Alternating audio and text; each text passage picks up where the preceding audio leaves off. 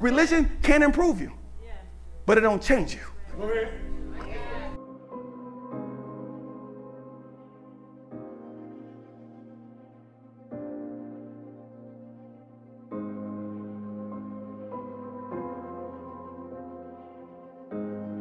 The world don't need more religion. The world needs more salvation. The problem is not our education system. The problem is not our penal system. The problem is not broken homes. The problem is not teenage pregnancy. The problem is not opioid use going up. The problem is not crack cocaine. The problem is not, my God, juvenile delinquency. All those are symptoms. The problem is sin, and the only thing that deals with sin is salvation. My God. Amen.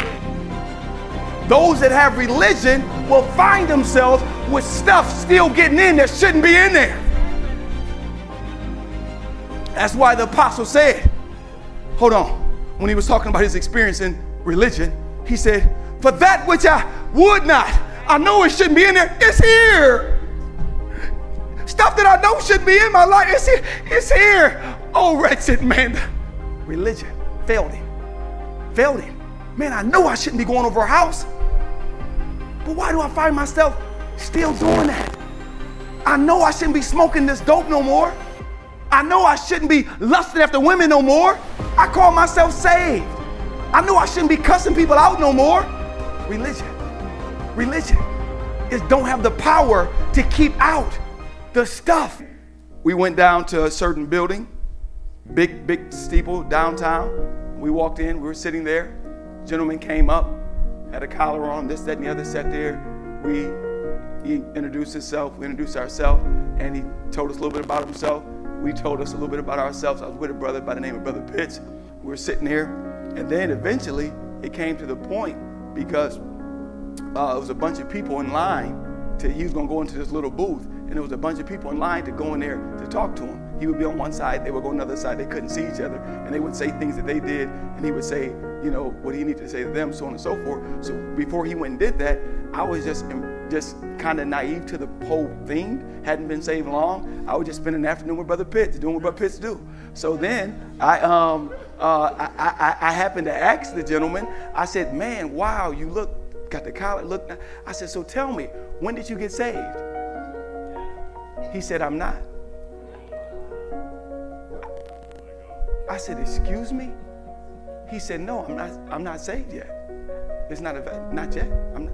I said, all these people are in line to talk to you, and you not say what they're seeking to get, you don't got. So here, the apostle said, salvation is the work of God. You can't. So what did you give uh, uh, two hundred dollars? That's not salvation. Well, fed the poor. That ain't salvation. Amen. Not the work of man. That's the work of God. Come on and read. Let's see what that work produces. Read. Philippians two thirteen. For it is God which worketh in you. Thank God. There he is. It is God that worketh. Look how beautiful this is. Oh, look at these dots that's connected. Oh, it, it, he said in Acts 28 28, salvation is the work of God. It is what, Brother Frank? For it is God. It is God. Which worketh in you. It is God. See, salvation is not, I got to hold myself. I can't do wrong oh, I, I, joined church, and the church that I joined said that you don't do this, or you go to church on this day, or you don't involve. So I, I, I uh, uh, uh, no, no, no, no. It's the work of God, and it's God that worketh in you. What, Brother Frank? both to will both to will and to do and to do of his good pleasure. My my my. See salvation is what god instituted that you may live a life in obedience in connection with god. That can only happen amen through salvation. He could beat you into it but it wouldn't be right because your heart wouldn't want to serve him. So he said i gotta bring salvation and it will work in you. The will. Salvation just don't deal with the outside. It gets down down in the soul of man. It gets on the inside of you. It's the work of God. It's a miracle. It gets down in a person. It gets down in your heart. It gets in your soul and it begins to work with your will. It changes your mind. It changes your heart. It changes your desires. It changes who you are. It changes you on the inside. It works in your will. My God. It's powerful. Nothing, nothing on earth can change a person's will. Nothing on earth can change a person's heart. Only salvation. It's powerful. You don't have to hold yourself after you get this. Oh, I can't do this. I can't. I don't want to do that. I'm a changed man. Yes, sir. Come on, Brother Frank. For it is God which worketh in you. For it is God that worketh. You at the altar of prayer. You meeting the conditions. Godly sorrow, broken. Faith in Jesus. Oh, you letting God know I'm sorry, God. Lord, I'll live for the rest of my life. Lord. So see, that's why folk can't get this joining church. Because the, the work ain't even been done. There's a spiritual surgery that got to take place. It ain't about joining some man, it's about surrendering to God. Amen. And now when you surrender to him, he's able to do his work. Oh my. Thank you. Oh, you at the altar. Oh, uh, angels. Hold on. Uh, uh, uh, saints of, hold on. I gotta go. I gotta go to work. They they calling me. Uh, they call. It says, sir, Peter, go do it. No, Peter can't go do this work. Uh, Abraham, go do it. Abraham can't do this work. Oh, God. And when you go to an altar of prayer, God takes a moment, stops what he's doing, comes down, begin to do spiritual surgery on you, my God. Opens up your heart, my God, to give you a heart transplant. Oh, begin to work with your desires, your will, put new valves in, new pipes in. My God, brand new this and brand new that. Take out this, that. Take out that, my God. Take out this, my God. Move this out the way. Move that. Give me this. Give me that. Let me put this in. Let me put that in. It is God. See, salvation brings with it, that's the that's the religion don't bring with it power. See, salvation brings the change and the power. It produces in you the will, the desire, and the ability to perform what you now want to do. Amen. Amen. My God. You want to please God. You want to do right. You want to uh, uh, live right.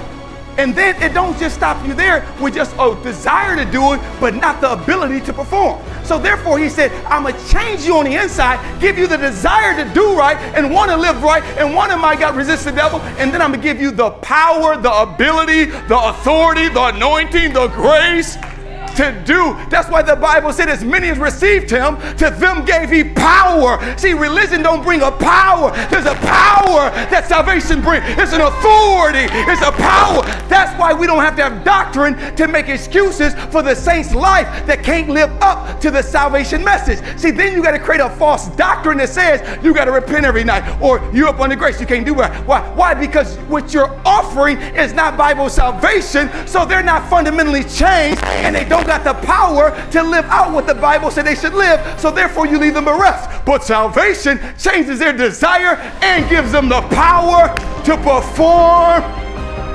Amen. what God has for them to do. That's why the Bible said, unto him that's able to keep you. We're not kept by our own power. This is all a work of salvation. Violence shall no more be heard in thy land, Uh huh. wasting nor destruction within thy borders. Uh huh. But thou shalt call thy walls salvation. Thou shalt call thy walls what? Salvation. Okay, now you got to go with me. And you got to understand the times that they were in. The cities were fortified by walls. They put them up on a hill so they can see the enemy. Then they put a wall around. Now, the wall was not for decoration. It was not because they wanted to show their pomp or circumstance and how much money they had and this, that, and the other. But the wall served a purpose. And when he was processing, he's sitting there, and the prophet is sitting there saying that, okay, Holy Ghost, what do you want me to style salvation? How do you want me to style? He looked around and said, okay, it's the wall.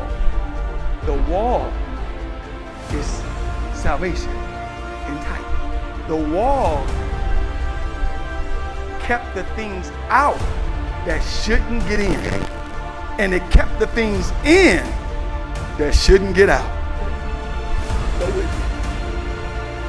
Salvation, my Lord, it gives you an experience to keep stuff out that shouldn't be in your life. My God. The devil will try to penetrate your life The devil will try to tempt you with this, get you involved in that. My God, to destroy your life. The Bible said, the thief cometh not but to steal, kill, and destroy. Amen. He's trying to bring all this stuff in to destroy your life. But thank God, salvation will keep out, my God, the things that want to destroy your life. It'll give you a wall, a defense, my God. When the devil comes in, my God, the Spirit of the Lord will lift up a stand. Get back, devil. When this temptation comes, the Bible will give you the Word of God will give you the power. Amen. The Holy Ghost will give you the power to tell the devil, no, I'm not doing that. Salvation keeps you. It keeps the stuff out that shouldn't be in, my God.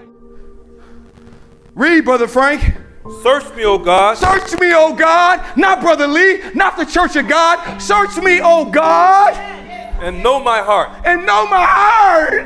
Try Lord, My heart, I want my heart to be right. Is there anybody here that wants a touch in their heart?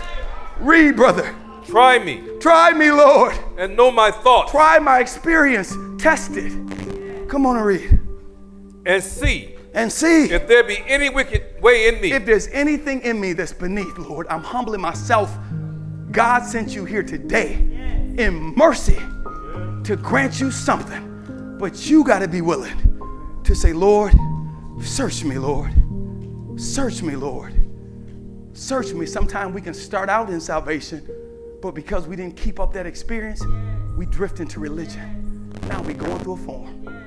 We go through a form, but something, there's a fire that's just not there. There's an authority that's not there. Something's missing. Something's missing. We need that fire relit one more time in this generation that we can bring the revival to the world. The Bible said, If I be lifted up, I'll draw all men unto me. Is there any that need any help this morning? Religion versus salvation.